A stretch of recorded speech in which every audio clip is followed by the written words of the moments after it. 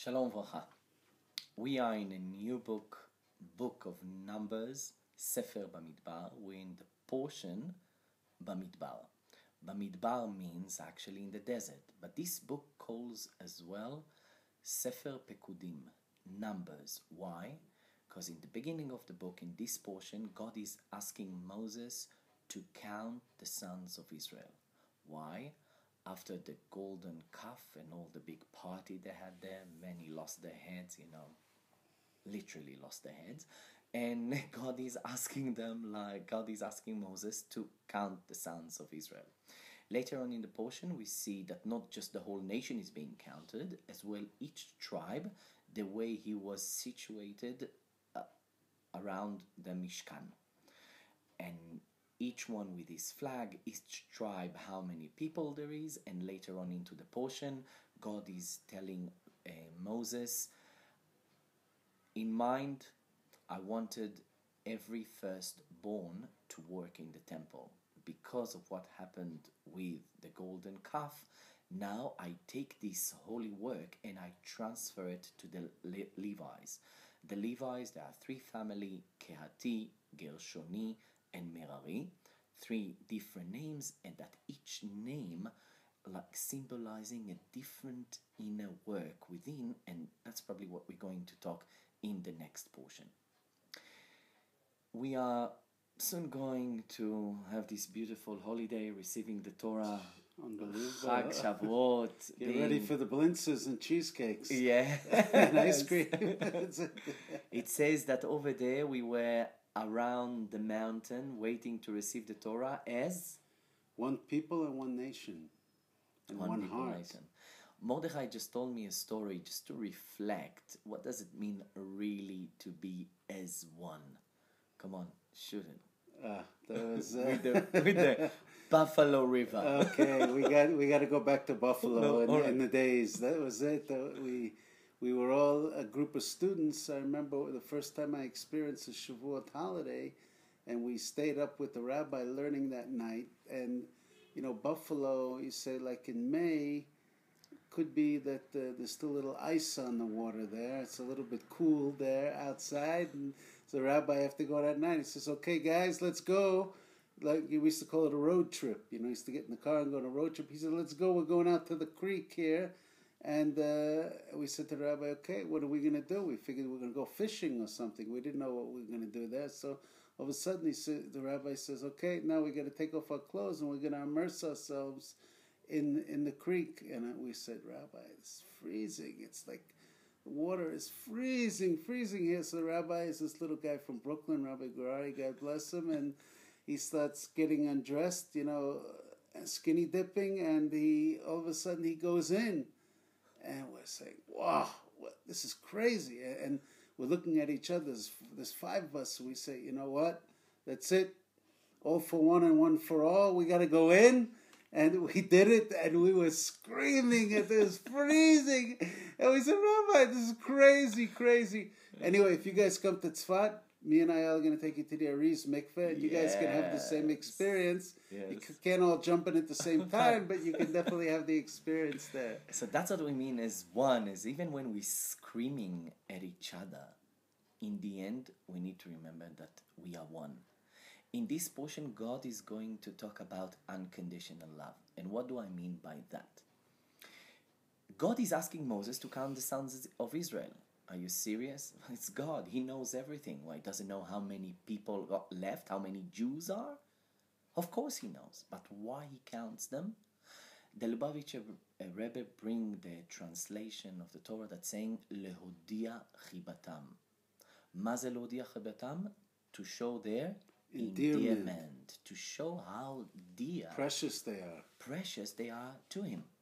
But if we're thinking about it, getting just a little bit deep, excuse me, when you're counting a whole nation as one, and you're counting every person, and you don't count him for his attributes or for what he's good in, but you're counting him as one, so each and every one of them is a number. And as a number, how do you want to tell me that you're going to show your affection and how dear they are and precious they are to you. They're mm. merely a number in a big crowd.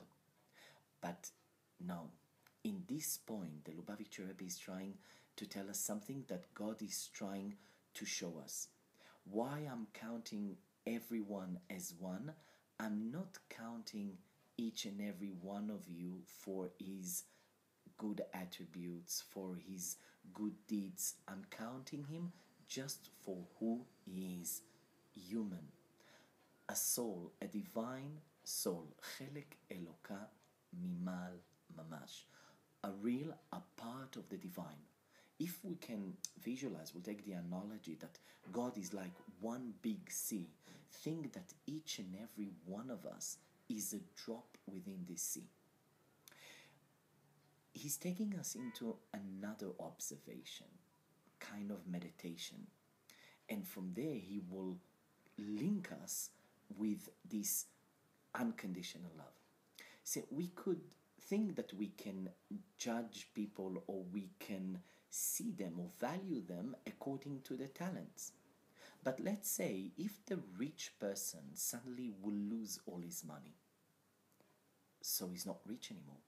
Let's say the wise person will suddenly forget. How do you say amnesia? How do you say this? Uh, Amnesia, He yeah. will get an amnesia, so he wouldn't like remember his wisdom. So then, all of his value was thanks to the fact that he is rich or wise. No, God is telling us here in this portion, He's trying to, to how to say, to bring out this bond that we have with Him, saying So that our connection is much deeper than skin deep. It's much deeper that goes to the essence of who we are, to the essence of what God is. And therefore, since God put, He blew the soul into us through our nostrils, and He gave us life. So that soul is a part of His, and it was always be with us. And that's why the Lubavitcher Rebbe said once that somebody came to talk to him, and he said that you know, he talked about his brother-in-law and that he's not so close to things in, in, anymore. The Rebbe said it's not true because everyone is close. Since everybody has that soul, everybody's close. We just have to light up that soul sometimes and ignite it. Exactly.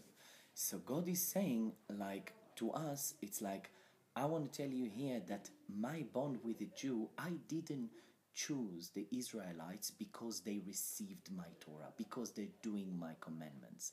I chose you as human for who you are.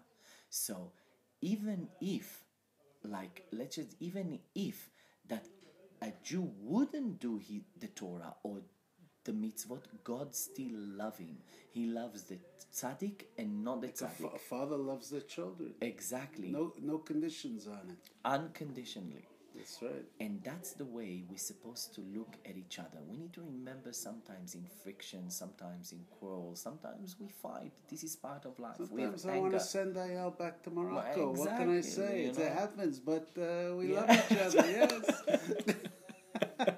it's very hard to be American in Israel. God, the Israelites are so rude. Oh, we gotta love our dear Israeli brothers. That's it.